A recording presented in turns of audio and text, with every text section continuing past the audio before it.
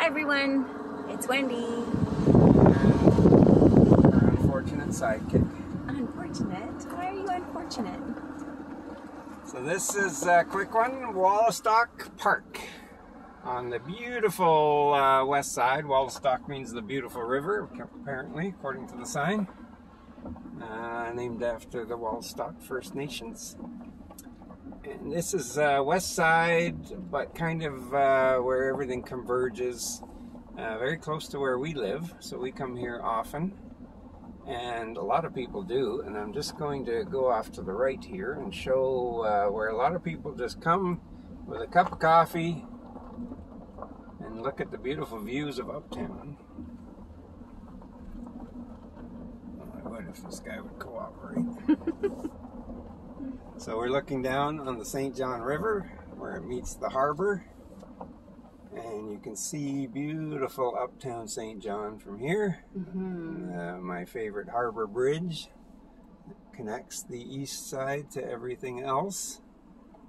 And this is just a wonderful park with picnic tables, uh, benches, lots of grassy area, trees. You can access Reversing Falls from here on foot. The first year we were here, we actually brought some uh, deck chairs and we lined it up along this ridge here and we watched the fireworks coming from uptown. It was amazing.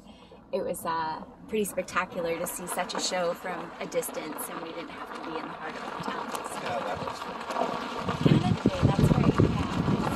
Yeah. This, uh, the access road here is a one-way road, so it just goes around the whole park. Uh, there's beautiful statues in here. So the statues are of the uh, the Elders, I guess, yeah the indigenous elders leaders. leaders maybe. I'm sorry we're not experts on indigenous culture, but uh, we do appreciate the history that goes with them. Yes. We believe there is actually a plan to uh, change the name of the St. John River to reflect the uh, Wolastoq history. Yeah, that would be great. But uh, yeah, just a beautiful, peaceful park. We've had picnics here with family members that came to visit. Yes, look at that. Oh my gosh.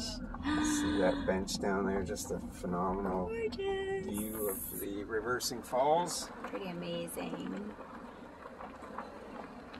And this is the bench which is covered here that we had a picnic on. We did, yes, with your brother and his wife. Just look at that, look at that view I know, right?